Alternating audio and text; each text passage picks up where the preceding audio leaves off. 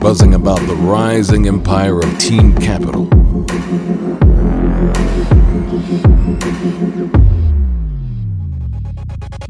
I'll answer your question with another.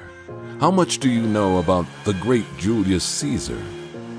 Over 2,000 years ago, on a day not much different than this one, the great Caesar stood at the edge of the Rubicon River.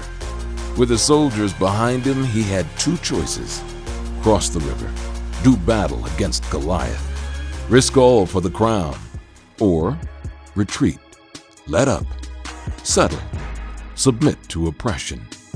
Caesar meditated for a moment, then, thrusting his fist into the blue sky, he bellowed, The die is cast, as he marched his ambitious soldiers on to Rome. For Caesar, there was no waiting for destiny to materialize. That's why Jason Capital studies Caesar, just like he studies so many of history's greatest men. Many today want to know what is the rising empire of Team Capital all about? Well, you could read about the almost 200,000 men in 125 countries who've already been saved from the vice grip of comfort and mediocrity, the society that wants its men shackled and neutered.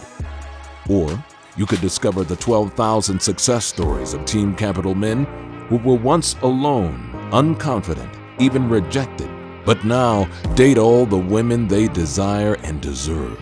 Hell, you could even read about the men who walked into the Team Capital world broke and strutted out millionaires.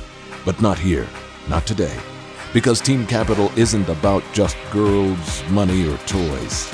It's about men.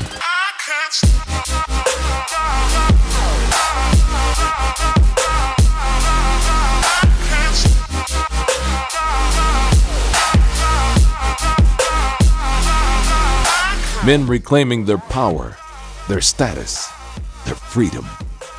This is the rising empire. This is Team Capital.